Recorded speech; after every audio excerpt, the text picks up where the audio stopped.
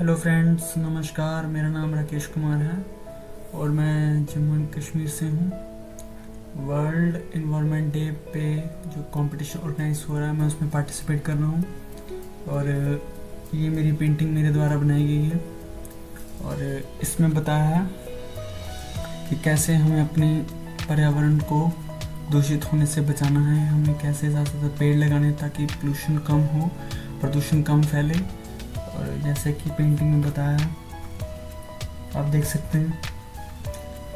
पर्यावरण दिवस पर मेरी सबसे यही रिक्वेस्ट है कि प्लीज़ आप अपने घर में एक एक पौधा ज़रूर लगाएँ। Thank you